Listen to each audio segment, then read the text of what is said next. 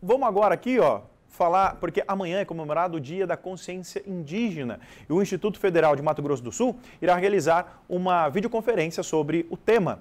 O Israel Espíndola esteve no IFMS e traz os detalhes para gente. Rude, muito bom dia. Amanhã, 22 de março, é o Dia da Consciência Indígena e o Instituto Federal de Mato Grosso do Sul, Campus Três Lagoas, irá promover aí uma videoconferência, um debate sobre essa consciência indígena. Sobre este assunto, eu converso com a Patrícia Palmieri, que vai dar mais detalhes dessa videoconferência, desse debate. Bom dia. Como, como será aí essa videoconferência? É, bom dia a todos e a todas. Bom, o evento vai começar amanhã a partir das 8 horas, será no dia 22 de março, terça-feira, das 8 até as 21, onde nós contaremos com palestras. Por que, que o Instituto Federal é, escolheu o dia 22 de março?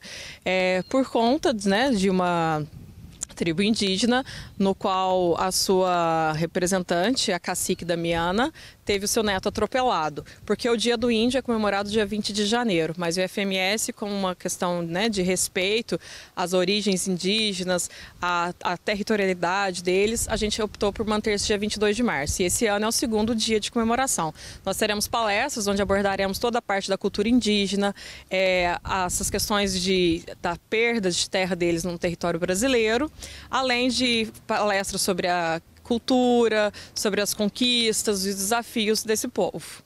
Como é que, as pessoas que estão nos assistindo podem acompanhar e participar aí dessa videoconferência?